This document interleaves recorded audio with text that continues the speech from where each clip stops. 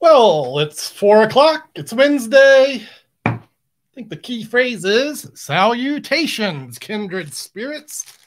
You have to pardon me for just a moment as I do an impromptu unboxing. I was looking for a handkerchief before I started this stream, and well, I guess I get a new one. These are the diamond.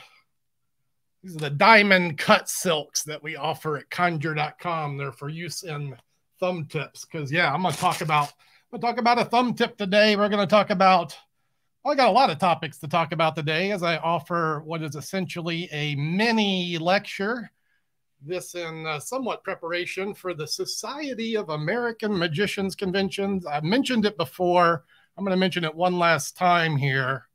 I'm going to be there this weekend. If you don't know, this is your last chance to know, folks. New Orleans, Louisiana is hosting the National Conference of uh, Society of American Magicians. I'll be there at the opening night party, giving uh, you know a little entertainment, and then Monday morning offering my lecture for the peers, for the kindred spirits. The whole schedule's there. You can check the links in the description of this video. They're there for you. And uh, yeah, so I thought, well, you know, a lot of the kindred spirits, and hey, some of them are here now. Look, there's Dr. Bob, there's Eddie, Robert. I will see you in New Orleans this weekend. El Bro, what's happening? Chandler and Andy.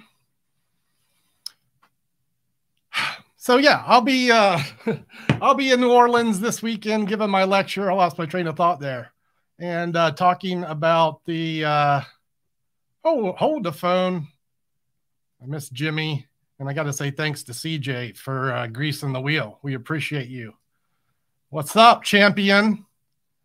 Besting the Stefan Ben. Ben is 13, if I'm not mistaken. I might have the wrong Ben there. Sure, it's Ben. Besting Stefan in the slide off in the Discord the other night. If you're a, if you're a channel member, and if you're not, why not? But if you are, you can join our Discord. If you don't have that information, text me. I'll tell you how to get there. And uh, yeah, Ben and uh, Stefan had a slide off, and Ben, the 13 year old, won. That's so cool.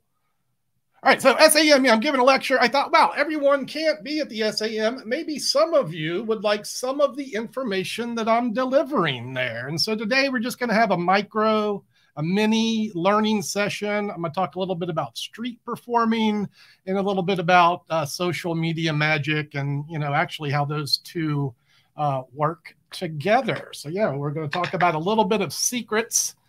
And boy, speaking of secrets, uh, secrets, I had this video queued up. I must have watched this video 50 times this week. And uh, hey, Eddie, what's up, man? Thank you very much for your kind donation, sir that does help, you know, pay the StreamYard bill. That's 50 bucks a month to, to present on this platform, etc. Lots of pieces of the puzzle. Anyway, I was saying, I was watching this video and it made me laugh and laugh about magicians and their secrets. Maybe it'll let make you laugh too. Uh, maybe it'll piss you off. I don't know. Maybe it'll make you mad because some people don't like, you know, these secret discussions. But this will be Chris Ramsey and what happens when you reveal magic secrets. All right, let's watch this. What up, Magic fam? Check this out. Let me show you how that's done. I First, you do that if I were you. Sorry, who are you? The name's Bimblebottom. I, sir, just so happen to represent the Secret Society of Magicians, and you, sir, are breaking the rules. Oh, I love those things. Check this out. Uh, this is an appearing cane. You can get it on Wish, and if you use my promo code, you can get it for like a dollar. Hey, what do you think you're doing? Make it a viral video. No, magicians are keepers of secrets. We're meant to keep these secrets forever. Well, that doesn't add up. That doesn't. That doesn't add up. How did you learn magic? Well, my I had a teacher. His name was Leviticus the Third. He wasn't so good at keeping secrets after all. Well, no, I mean, what? Huh? You want a shout out? Is that what you want? You want a shout out? I I would love a shout out, honestly. Like my it's not going well. Not going well. What up, Magic fam? Check this out. There's a couple Let me show you how that's done. First, you do that if I were you. Sorry. Wouldn't do that if I were you. The name's Bimblebottom. Thimble. I, sir, just so happen to represent the secret society of magicians. For me, you, sir, it's this. are this. breaking the rules. the cane it hits his leg. Oh, I love those things. Check this out. Uh, this is an appearing cane. You can get it on Wish, and if you use my promo code, you get it for like Oh, a dollar. Hey, what do you think you're doing? What do you think you're doing? Make it a viral video. No, magicians are keepers of secrets. We're meant to keep years. these secrets forever. Well, that doesn't add up. That doesn't add up. All right. How did you learn maybe I'm magic? just maybe I'm just uh, amusing myself at this point. But uh, I, I, I kind of, you know, I kind of am taking up on myself to be one of the ones that bridge the gap between the old school and the modern school. As one who is a bit older, you know, I've been around a while. Used to be a naysayer about, you know, teaching on the YouTubes until I realized that's where everyone learns now, literally everybody. So what we need is better teachers, not people not teaching. We need better teachers. I'm not going to dwell on that right here, right now, but I am going to do some teaching. And uh, today's, oh, nice to hear that. Always nice to know when I'm in print. I don't get the Penguin Magic Monthly, but that's cool. I'm in there. Awesome. And yeah, you know, Sai's going well. Posted a little clip of him this morning with uh maybe I could bring that up later. He was learning he's learning the mouth coils. Hold on, I got it on my phone. I didn't post this to YouTube shorts. I just put it on my stories for uh Instagram and Facebook. And hey, it's Instagram at Connjure. Those links are in the description. Here, here's Sai learning the mouth coil. That's going to be too dark, too bright.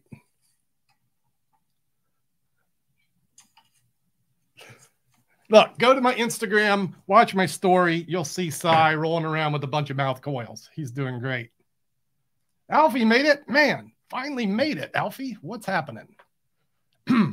All right. So, as I was saying, lecture time at SAM. You guys get a mini lecture today. And I should note that someone today, one of the live viewers, is going to win a lecture package. You know, when I do these lectures for the societies, for the magic clubs, I always bring some things to sell because honestly, this is how we make money because rarely are the professionals paid a reasonable amount of bucks to appear at these things. And that's fine. I understand the conventions can't afford to pay us, you know, regular wages. So we sell things. These are the things I'll be offering at this conference. I have some built to last DVDs, just some. It's the last box. There's not a lot of them left. This is the Cons Palm. This was reviewed a couple weeks ago on uh, Magic Orthodoxy. We have these available again. They're now two for $15. If you got one at 10 bucks, congratulations. They're now two for 15 bucks. Uh, this is my new book. Everyone says, Doug, when you going to write a new book? Well, I wrote it. Here it is. It's called Advice from a Con Man Concerning Street Performing, Prestidigitation, and Social Media Magic. So, yeah, that's the book. And these are my digital notes for the uh, SAM. I'm done. I'm done printing bunches of paper and wasting trees and carrying around 50 pounds of weight and having to charge $30 to, you know, do so. So uh, we're moving forward with this format. And inside here, the purchaser will get some crypt notes, uh, a QR code with links, some other secret things. The notes include videos, video files, seven of those, and two manuscripts my Trick Talk manuscript. And uh, do I have them here? This is one of them. This is in there concerning content for sleight of hand on social media. And then my concrete, which is uh, street performing uh, notes. Hey, Tom Britton. Man, we're doing well today. Maybe I don't have to go work this convention this weekend. I can just sit on the YouTube lives and, co- and collect the collect the kindred spirits donos. Yay, the book is out. The hype is real. Trick Traveler for the win. All right, so look, today we're going to break down some of this information that I'm going to del- deliver at the lecture and one live viewer at the end of this 10 minute fiesta. 10 minutes, that's all it's going to be, is going to win that prize package. The DVD set, the Trick Trick Traveler, Cons Palm, and the new set of notes. Uh, coming to someone in the North American hemisphere. Let me rephrase this. If you win and you're an international viewer on this time, and maybe this time only, you're going to pay the postage uh, just because, wow, I'm like paying $40 for international shipping is stupid. To send $40 of stuff, it's $40. It's dumb. All right, but look what I did here. I prepared, I prepared slides. It's a Google slideshow, folks. How how, how am I going to be happy? This is how we're going to be happy. Ladies and gentlemen of the interwebs, I present to you my 10 minute, hold on. I'll pause every time. We could do this all together at the end, or I'll just keep saying thanks. I'll say it again. That's a double dip for CJ. We appreciate your support of the vanishing arts. Uh, T1, do I give a long version of this lecture? I do at magic clubs. Like when I'm at a magic club, I'll go two or three hours. It could go longer. At a convention, it's an hour to an hour and a half.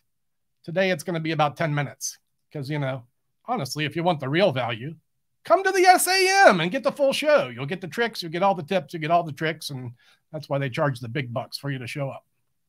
All right, so here's what we're going to talk about today advice from a con man concerning street performing and social media magic.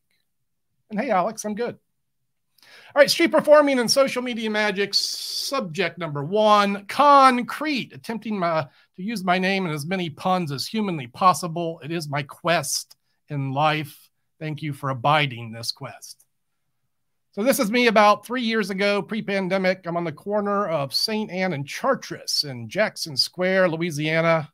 I counted the heads earlier in this picture. There's about 30. That's half my audience. There's probably about 60 people watching me that day. It's probably a 20 or $30 show. I do five or 10 of those a day. And uh, that's how that spot works out on that corner. it's a small show, 12 minutes. This is the style I'm working these days. All right, Robert, I will put you under consideration for that pun. Oh, I can see where this is going. All right, then. oh, I hit buttons. Hit that button. All right, so topic number one. You want to be a good street performer? You want to be a good street performer, huh? You want to do that? Here's what you need, folks. Here's another one. Oh, my. Confidence. Let me be clear about this. You can be horrible at your art or your craft. Some street performers do nothing, you know, they're they're they're just aggressive talkers more or less. If you are comp- confident about your pursuits in a public forum, you'll get paid. That's the bottom line. So if you want to be a street performer, uh, well, yeah, do that. Have confidence.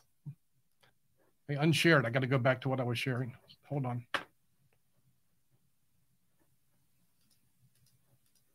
Sorry, folks. I misclicked.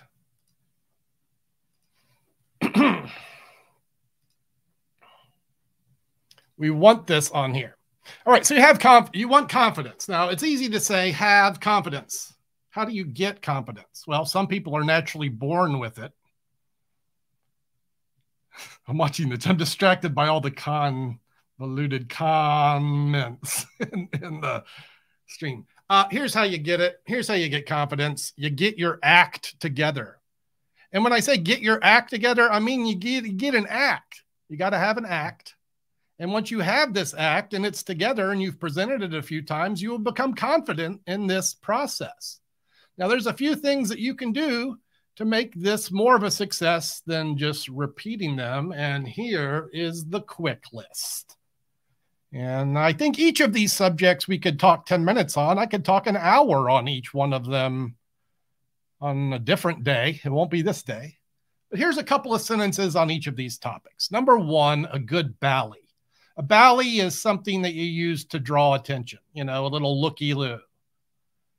You know, hey, folks, showtime. You could just stand there and yell that. That's a bally. But you want a good one, right? You want something, you know. Hey, folks, watch this trick. I'll send you down the street talking to yourself, just like I do in the morning before the coffee. That's that's a Jimmy Talksalot bally line. There's a lot of them, but you want something to say to get someone's attention. If you don't know what you're going to say, then your act's not together and you're not going to be confident. So get a good bally. There's a couple of ways you can go about this sound, movement, color. These are lessons from my uh, mentor, Jim Cellini. Hold on. Can we hear it for the new shirt? This is draft number one of the Busker shirt, by the way. These are the masters. These are the five, the five families. Sheridan and Salzar and Cellini and Gazzo and Fox. If I miss someone and you think they should be on this shirt, let me know. Maybe they'll make it into the final, into the final form. But yeah, my mentor Cellini. The most important of these sound, movement, and color is the sound factor. Sometimes my microphone mutes the loud sounds, but this is the one I currently use. It's a Moscow Mule mug, which I'll often use in magic tricks. I do a coins the glass routine that I'll be teaching. I, I taught it on YouTube. You can go look it up. But uh, use a whistle, use a cowbell. Just tap your stick on the table. Sound is the best. Hey, there's the man himself. Jimmy Talksalot in the house, y'all. Everyone say hello to Jimmy. And look who popped in as well. Gary, what's happening? Yeah, but hey, uh, if y'all are watching this after the stream, if you have suggestions for the shirt, let me know. These will be available, and I'm going to make a little fund as well for any profits of these shirts to go to Gazzo. Uh, he's been, you know, if you haven't heard, Gazzo's a little struggling these days, and we're going to, you know, whatever profits I can uh, eke out from these shirt sales will go to him. but yeah, sound, movement, color, sound being optimal if you can move around and interact with your audience and you know present a sense of bravado with your costuming these will all be things that will help your bally be a little stronger and put you on a, a little closer path to being confident about getting your act together. Uh, you'll want a quick opener to get attention. This is exactly why i pulled out this handkerchief earlier. I'm going to say you could even do this trick. I still do it been doing it 30 years and when i'm trying to get the attention of a family audience it is this trick that i use that's the red side. That's the clear side. Yeah, it's clear on the back, you see, until I snap my fingers, and that's the red side. And this works because I just uh, pretend to poke it in. Yeah, I pretend. yeah, that's the clear side. And uh, that's the red. And that's the invisible, visible handkerchief. Quick, fast. I don't, I, let me say this. Let me say this as well when when I start the first effect, this is such a big problem with beginners. I don't ask people if they want to see the magic. I don't say, "Hey, do you want to see a trick?" "Hey, do you like magic? Would you like to see it?" No. "Hey, watch this. That's the red side. That's the clear side." Right away, I just boom, 10 seconds in if they give me their attention. Right off the bat, quick opener. You know, I, I can also mention this. I follow up I follow up this quite often with this trick. The invisible deck. The invisible deck, one of the fine offerings at connjure.com. So here's what I'll do. Here's what I'll do. So I'm in this shtick where I say, yeah, I just pretend to poke it in, but it's really this. It's red on the front, but the back of the handkerchief here, this is the clear side. That's the clear side on the back. And that's the red, that's the red side on the front. I say, look, I have the same thing in playing card form. Yeah, same thing with cards. And I go right away into the invisible deck. So they see a, a, a quick visual. And then I say, look, I have the same thing in card form. You can see the cards on the front, but from the back of the from the back of the they're complete they're completely naked to the invisible eye. Here, pick an invisible card. And then I have my spectator pick an invisible card. They name one. We're going to have Siri just, hey, Siri, pick a card. Choosing. It's the seven of hearts this time. The seven of hearts. And then whatever card the spectator names is discovered to be the only card that is, yeah, there is one card upside down.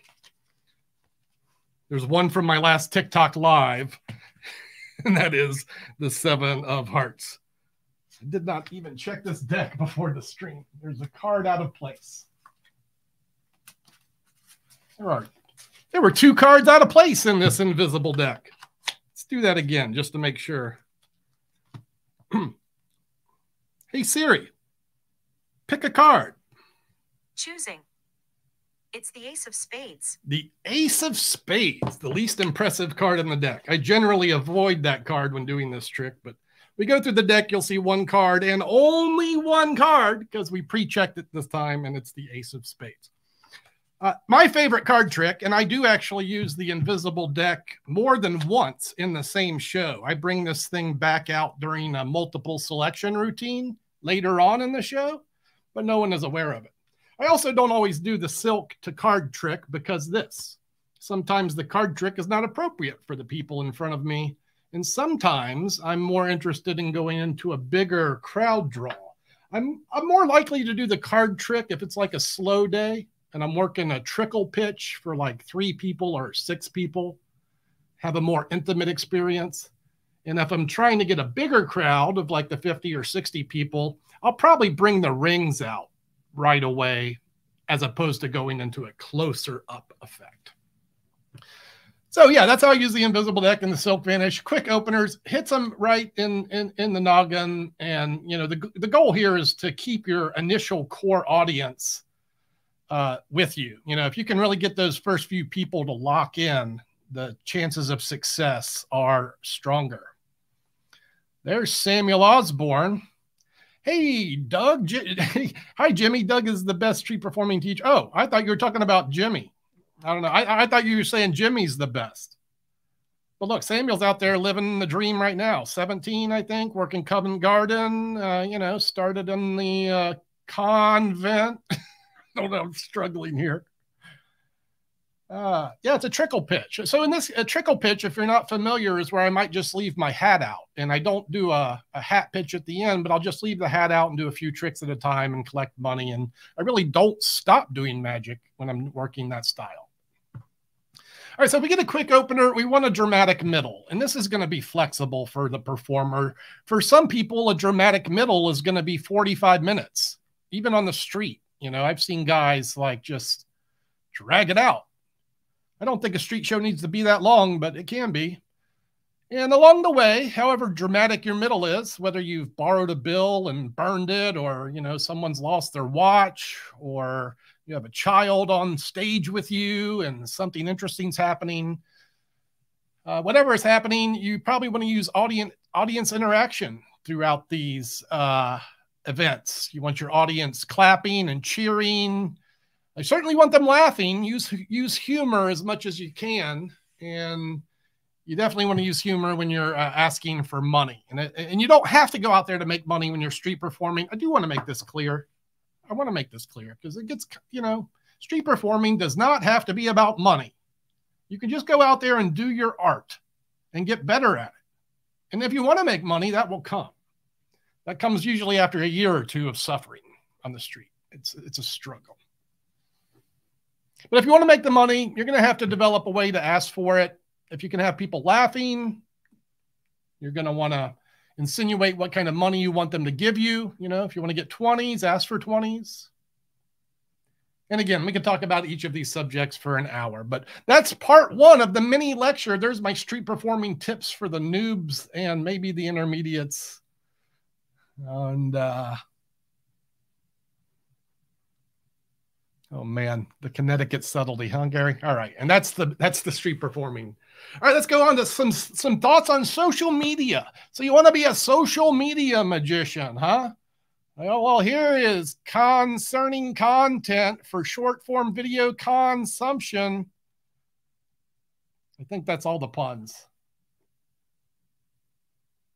So look, my hat pitch took me over a year to get good. So worth it though. But look, Sam, here's what you're going to say next year.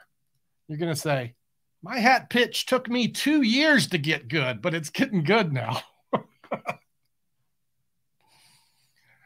oh, man. Here's what we're going to do that. Phoenix.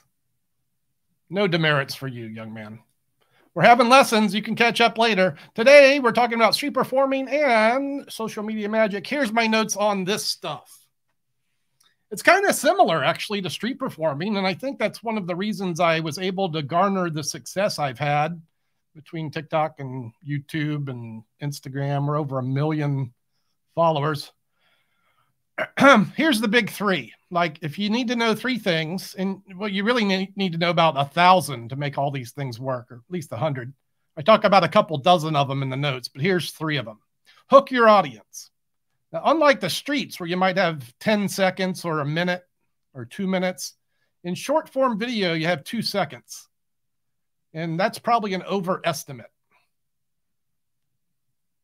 So, like, you know, you're going to, you know, you don't have a chance to say, Hi, folks, my name's Doug and I do magic. By the time you say, Hi, folks, my name is, they scroll.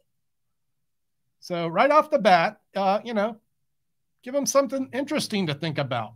Now, if, if you're doing this, you better have good lighting and audio because if you don't if you don't have good lighting, they'll scroll before you even get your mouth open.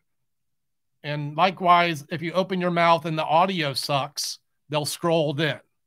So have good lighting and good audio, or all of this is futile.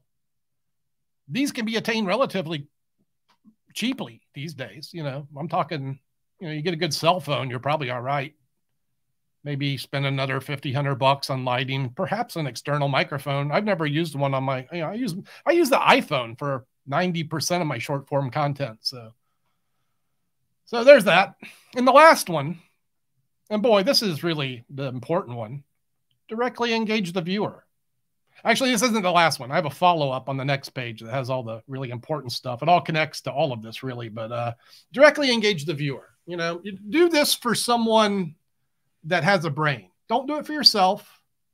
Keep in mind the person on the other end of the camera. Address them like a person, like I'm addressing you right now. And I'm using the word you because when you say you, people, uh, you know, they know this phrase. And they say, hey, you, and they what? And now, if you can get a good hook and good lighting and good audio and engage your viewer directly, maybe now you have a chance to present your magic trick. But only if you get these three things right. So do all that. And then do these things. Give your audience a reason to care. Look, this this page, do this for all your magic. Street performing, stage, close up, children's magic. You know, uh, the, these are. It's a short list, but it's a list. Give your audience a reason to care. Can they appreciate the effect? Does it make sense in their world? Or does it take two minutes to do the at fist before you separate the jacks and the aces and start your demonstration? I don't know. Why do they care about that? You could use storytelling. This something that I, it's like uh, on the top of my to-do list right now is get better at storytelling. I feel if I can do this, this is where I level up. So what what is interesting in Doug Conn's world, world right now? Becoming a better storyteller.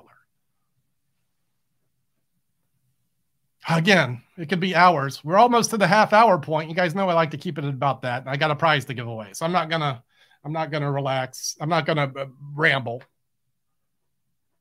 Although I could. It seems like the chat's still working on getting the connections together. Be relatable. All right, it's pretty pretty easy. Easy, you know. I think you could be yourself or an extension of yourself, or you could be mean, or you could be grotesque but be something that people can relate to, right? A point of view. That's what I should have put there. Have a strong point of view. That's the way I like to sum it up. Conflict and drama. You know, have a conflict, resolve it. This is a good way to make an audience care. And lastly, if you can deliver a benefit, deliver a benefit. Entertainment's often enough with magic. You're giving people a smile, a sense of astonishment, maybe a joke. But beyond that, if you can move their soul or teach them something, that will maybe make everything work better in your social media experience. It's one of the things I'm trying to do today deliver a benefit. That's the last slide. I hope I accomplished that goal in uh, some of those summations, and maybe five years from now, when I'm watching the next mega street performer or social media magician collecting millions of views and thousands and thousands of followers that they say, yeah, I saw this Doug Conn live back in 2023 and I started following some of the things he said and it made all the difference. Yeah. All right. Let's give away a prize, folks. Let's get up the prize package here. And if you don't win the prize, by the way, I do like to mention you could always consider uh, uh, what can you consider? you can go over here to connjure.com. This is a good option for you. In addition to uh, my my online magic stuff, my shop, and there's the built the last package. That's the. I've only got a handful of these. Uh, I've got five of these for sale. Until the convention's over, there won't be more listed. I, I have a handful of DVDs left. I want to make sure I have enough for the convention. So you can go here and shop. No, you could also go here and learn. I have everything curated over here. Go learn some intermediate card tricks if that's up. That's what you're interested in today. And uh, that's what's happening over there at connjure.com. And we thank you for your attention on this website as well as the money you spend with us there. All right. And with that, we can bring up the StreamYard giveaway tool now, and one lucky viewer will get this giveaway package. All right, let me go here.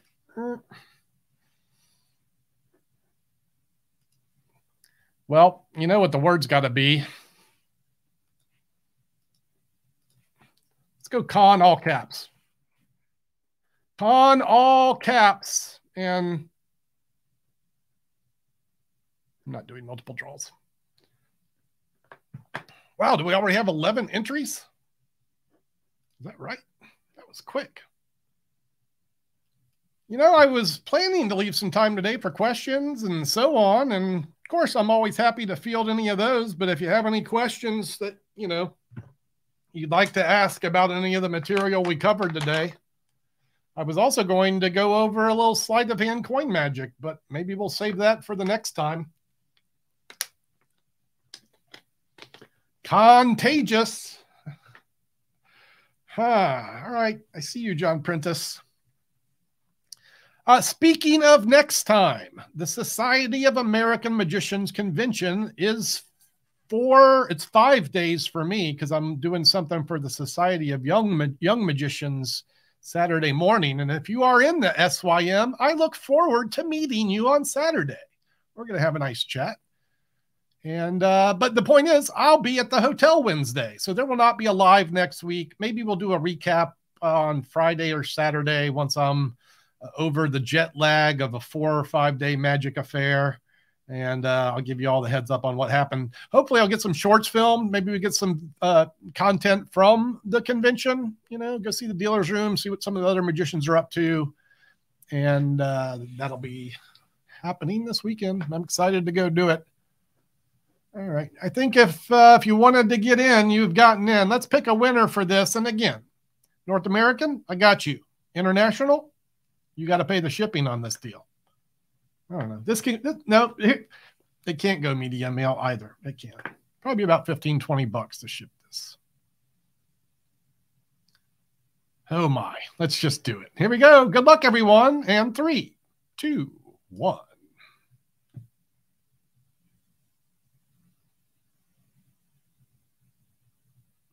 Dun dun dun dun. Notch name. Notch name. Well, you know what I'm happy about here? We get to give away a prize to a new face, a new Notch name. And for you to claim this prize, Notch name, I'll need your actual name over at this email address connjure at connjure.com. It's down there right below me. Send me an email. Send me your mailing address. And if you're an international, send me 20 bucks. I'll get this package in the mail to you. And yes, congratulations. Congrats, congrats, congrats, congrats. Con.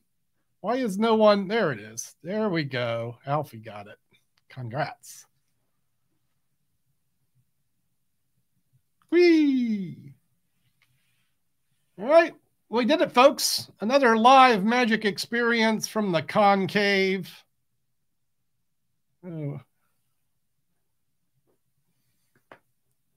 Yes. All right. I guess before the chat gets out of hand with the conflicts and the in the sh- in the shots, I'm going to get to stepping and continue my preparation for this weekend's festivities.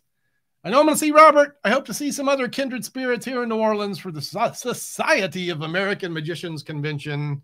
And uh, keep an eye on the community tab, and you'll know when you'll see me next. It's going to be a ciao for now, y'all. And thanks again to everyone and and congratulations, Notch name. Au revoir, mon ami. Ciao for now.